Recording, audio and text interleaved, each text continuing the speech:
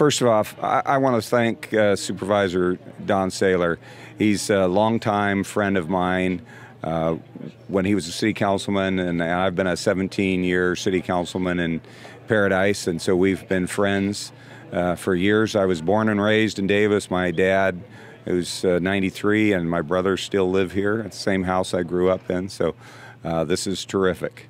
Uh, in fact, Don texted me this morning and asked me if I was going to still be there because there was uh, POTUS was going to be in town, and I said, um, no, I'm going to be there. Um, I won't tell you the words I said exactly, but um, the choice was let's see, um, Davis, Sudwerk Beer, Mumbo Gumbo playing, and Friends versus the President of the United States. It was no contest. Here I am.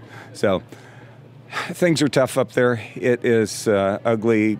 Everybody I've talked to said they've never seen anything so um, devastating.